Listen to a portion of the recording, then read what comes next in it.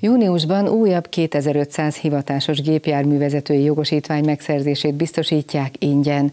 A Nemzetgazdasági Minisztérium által támogatott program segít a logisztikai ágazatban felelhető hivatásos sofőrök hiányán. A 2,9 milliárd forint hazai forrásból megvalósuló képzés a szállítmányozási szektor szakember utánpótlását segíti. A logisztikai ágazatban a közúti áruszállítás versenyképességének javítása kulcsfontosságú, ez pedig csak akkor lehetséges, ha csökken a szakember hiány a szektorban.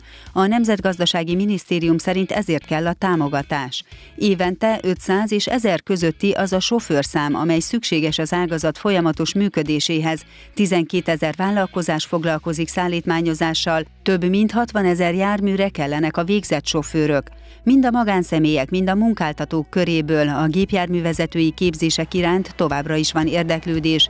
Az Ofanon Profit Kft. a képzésre 638 munkáltatóval kötött együttműködési megállapodás 2017 márciusáig.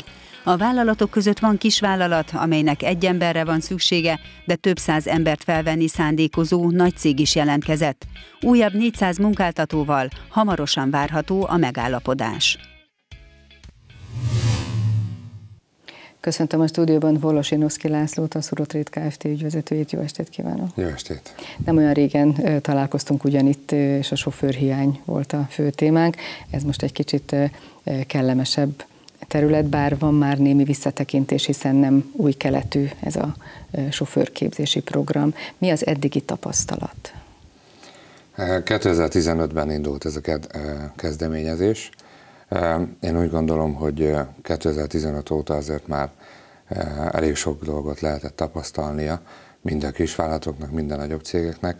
Nekünk a visszajelzés, ha a cégcsoportot tekintem, leginkább az, hogy a, a, a jogosítvány szerzésnek a megkönnyítése az igen sokat segített abban, hogy munkaerő hiányt kezdjünk el pótolni, viszont ugye ahhoz, hogy a sofőröket már igazán sofőrnek nevezhessük, azért szükségeltetik némi szakmai múlt. Na, ennek a megszerzése, illetve úgy igazán a szakma elsajátítása, azt látjuk, hogy azért még elég sok nehézségbe ütközik. Mitől függ az, illetve hogyan lehet segíteni azt, hogy valaki meg is maradjon ezen a pályán, hiszen ez nem egy könnyű szakma. Igazán nehéz.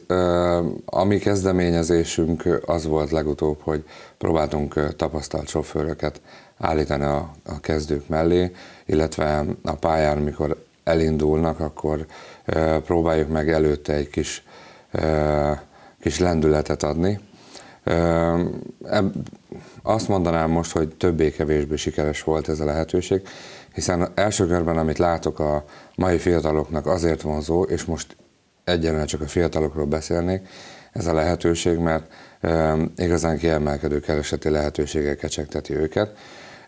Az már egy másik kérdés, mikor megtapasztalják a szakma árnyoldalát.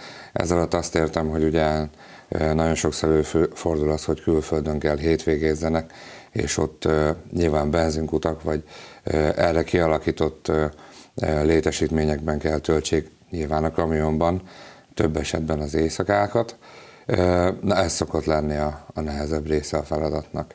A másik oldal, hogyha esetleg már egy középkorosztályról beszélünk, talán azt tapasztalom, hogy inkább ott a, a modern kornak a vívmányai, ami feladatot szoktak okozni, hiszen manapság egy kamion, illetve ezelőtt 8-10 évvel, mikor kamionról beszéltünk, az teljesen más technika és technológia gondolom komputerek és egyéb így van, eszközöket így van. kell használni, ami ugyancsak kihívás.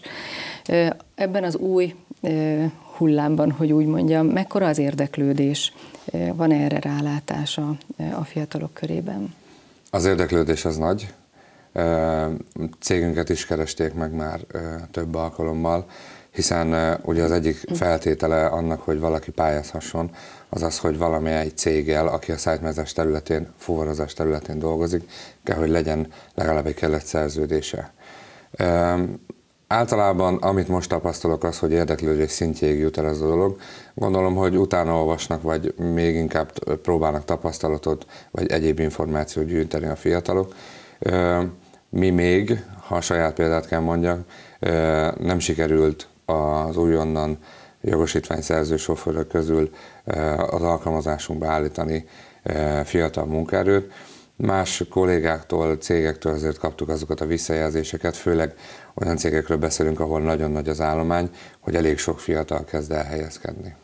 Milyen egyéb feltételeknek kell megfelelni? Ugye említette, hogy munkaszerződéssel kell rendelkezni. Hát nyilván ezen, ez a szakmához elengedhetetlen egy pályaalkalmassági vizsga. Itt a PÁV 3-nak kell megfelelnie a, a sofőröknek vagy a jelentkezőknek. Ha jól tudom, az esetek 90%-ában, 95%-ban itt megfelelnek a jelentkezők. Nem rendelkezhetnek hallgatói jogviszonyal nappali, nappali tagozaton, illetve ez a kritérium, hogy kell, hogy legyen egy cég, aki alkalmazni kívánná a, a jelentkezőket. Mi, mik a szerződésnek a fontosabb pontjai, és ugye kétféle szerződésről beszélhetünk. Van egy szerződés a jelentkező és a, munka, a munkáltató között, illetve a munkáltató ír alá egy támogatási szerződést. Hát az egyik legfőbb feltétel az az, hogy onnantól kezdve, hogy jogosítvány szerzett a, a, a jelentkező, minimum egy évig alkalmazni kell, a cég alkalmazásában kell, hogy álljon a, a jelentkező. Ez szokott leginkább egy hátráltató erő lenni, vagy hátráltató Itt pont. Vissza is kanyarodhatunk az első kérdésünkhez, hiszen vagy megmarad a pályán a fiatal, vagy, vagy nem. nem. És most ez, ez az, amit tapasztalunk, hogy ha fiatalok, és olyan fiatalok, akik nem mondjuk ebben a programban indultak neki jogosítványt szerezni, elindulnak a pályán, merem azt mondani, hogy ha mondjuk egy százas nagyságrendű számról beszélünk, 40-50 százaléka biztos, hogy nem marad meg, hiszen nagyon sok kihívással kell egyébként megküzdjenek. Mi történik, ha nem teljesül ez a pont? Ha nem teljesül ez a pont, ugye a legrosszabb, ami történhet, hogy vissza kell fizetni magát ezt a, ezt a támogatást, illetve annak az összegét. Azért az egy elég komoly stresszfaktor, hiszen itt több százezer forintról beszélünk. A támogatási szerződésnek mi a feltétele a munkáltató részéről? A munkáltató részéről a támogatási szerződésnek igazából az egyik legfontosabb feltétel az, hogy mutassa a hajlandóságot afelé, hogy, hogy ő alkalmazásban akarja tartani, és mindent elkövet azért, hogy alkalmazásban fogja tartani a leendő munkavállalóját. Van-e arról tudomása, hogy itt a megyebeli fuvarozó cégek mennyire érdeklődnek ez iránt a lehetőség iránt?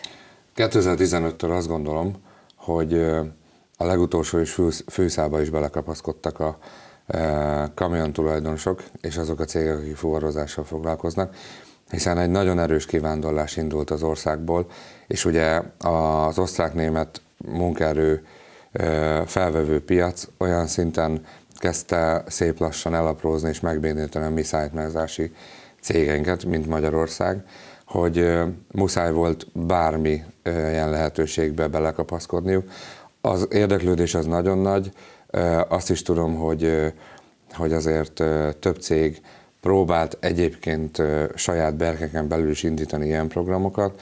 Én úgy gondolom, hogy lehet ez egy megoldás arra, hogy ezt a, ezt a hiányt valamilyen szinten legalábbis fedezzük. Tudja ez a program valamennyire a versenyképességet növelni? Abban az esetben mindenképp, hogyha a szállítmányozó cégeknél nem jelentkezik az a költség, amely a gépjármű állásával generálódik, az biztos, hogy segít ahhoz, hogy a piacon maradjunk, vagy legalább életben maradjunk.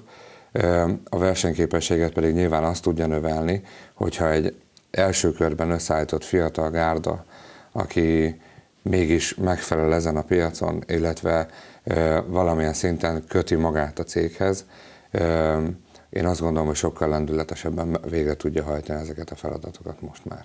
Bolosinovszki László, köszönjük, hogy rendelkezésünkre állt ma este. Én köszönöm.